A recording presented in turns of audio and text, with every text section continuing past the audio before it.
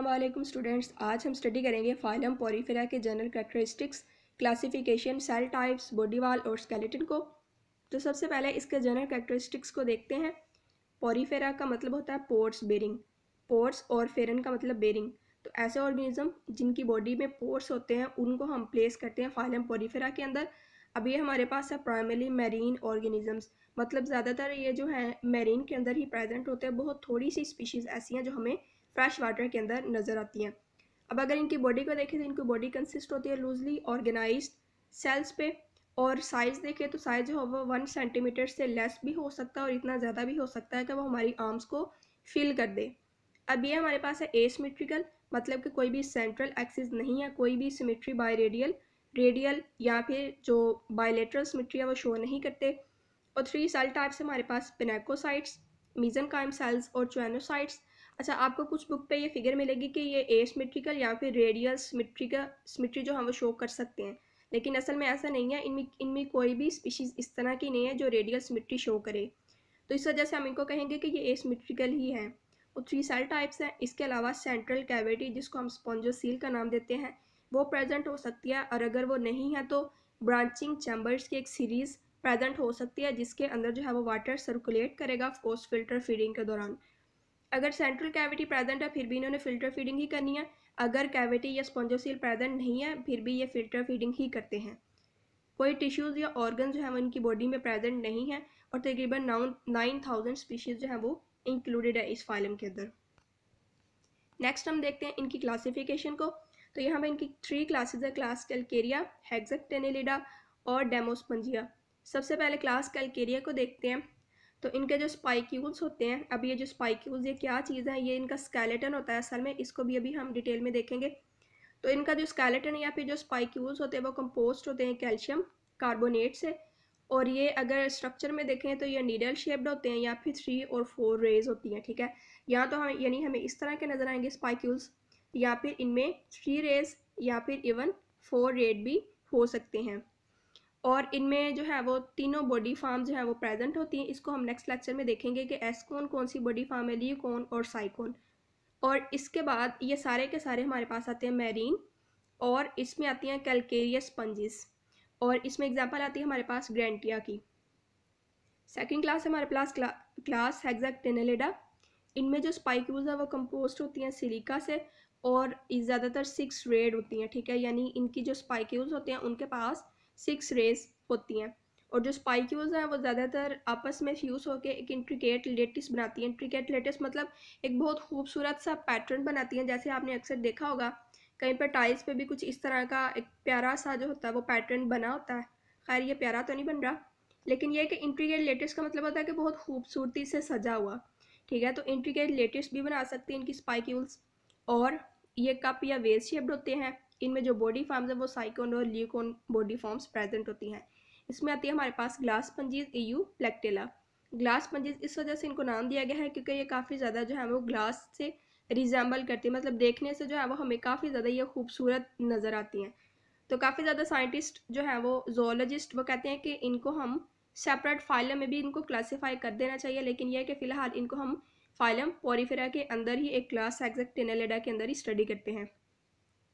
Next third हमारे पास class है क्लास डेमोस्पंजिया तो डेमोस्पंजिया में हमारे पास आती हैं ब्रिलियंटली कलर्ड स्पंजीज जिनमें नीडल शेप या फिर फोर रेड सिलिशियस स्पाइक्यूज हैं, वो प्रेजेंट होते हैं। ठीक है, अब इनके जो स्पाइक्यूज हैं, वो सिलिका से भी बने हो सकते हैं या फिर स्पॉन्जिन से भी बने हो सकते हैं, ठीक है? और यहाँ इवन ऐसा भी हो सकता है कि स्पॉन्जिन और सिलिका दोनों ही मिलकर स्पाइक्यूल बना रहे हों। इनमें हमारे पास है सबसे कॉम्प्लेक्स लियोकॉन बॉडी फॉर्म और ये वन मीटर तक जो है, वो हाइट और डायमीटर में हो सकते हैं। इनमें ही यही एक क्लास है जिसके अंदर एक फैमिली है जो फ्रेश वाटर स्पंजिस की है स्पॉन्जिलिडी और बाथ स्पंजिस भी इसी में आती हैं क्लियोना और स्पॉन्जिला अब बाथ स्पंजिस यानी कि इस तरह की ये स्पंजिस है जिनको हम ह्यूमन जो है वो बाथिंग में यूज़ करते हैं। नेक्स्ट हम देखते हैं इसके सेल टाइप्स और बॉडी वाल को। तो यहाँ पे जैसे हमने देखा थ्री टाइप्स ऑफ़ सेल्स जो है वो प्रेजेंट होते हैं पिनेकोसाइट्स इसके बाद हमारे पास आते हैं मीजन सेल्स और तीसरे नंबर पे आते हैं चुनोसाइट्स सबसे पहले हम देखते हैं पेनाकोसाइट्स को। तो ये हमारे पास थिन फ्लैट सेल्स मतलब काफ़ी ज़्यादा पतले सेल्स हैं जो कि outer surface of body wall को लाइन करते हैं, यानी जो सबसे ज़्यादा आउटर सेल्स होते हैं। जैसे अब यहाँ पे देख सकते हैं आउटर सेल्स को हम नाम देते हैं पेनेकोसाइट्स का, ठीक है? अब ये जो पेनेकोसाइट्स हैं, ये काफ़ी ज़्यादा फ्लेक्सिबल भी होते हैं। तो इनके फ्लेक्सिबिलिटी की वजह से जो स्पंज की शेप है, वो भी चेंज हो सकती है। अब कुछ ऐसे पेनेकोसाइट्स हैं जो कि ट्यूब लाइक पोरोसाइट्स बनाते हैं, ठीक है? वो स्पेशलाइज्ड है कि उनको हम पोरोसाइट्स कहें। अब जैसे यहाँ पे मे बी शो ये है हमारे पास पोरोसाइट, जो कि ट्यूब लाइक है, और पोरोसाइट की जो ओपनिंग है, ठीक है, उसको हम नाम देते हैं ओस्टियम का, सिंगल ओस्टियम या फिर ओस्टिया का। अब ये हो गई हमारे पास पेनाकोसाइट के लिए, जिसमें हमने देख लिया कि आउटर जो बॉडी सरफेस के साथ हैं, उनको हमने पेनाकोसाइट्स कहना है, और वो काफ़ी ज़्यादा फ्लेक्सिबल है, और ट्यूब लाइक पोरोसाइट्स के अंदर भी डेवलप हो सकते हैं और पोरोसाइट की ओपनिंग को हम नाम देते हैं ओस्टिया का। जो सेकंड लेयर है हमारे पास पेनेकोसाइट्स जो बिले बिलो प्रेजेंट होगी, वो हमारे पास है जेली लाइक लेयर जिसको हम मीज़ो हाइल कहते हैं। अब इस लेयर के अंदर मीज़न कायम सेल जो है वो प्रेजेंट होते हैं।